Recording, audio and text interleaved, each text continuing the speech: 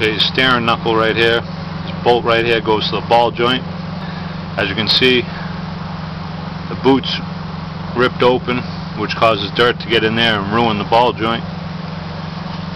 And then this rod goes from here, linkage uh, goes from here to the pitman arm, which there's another ball joint on this end. Got grease fitting on the back, same as that. Watch this.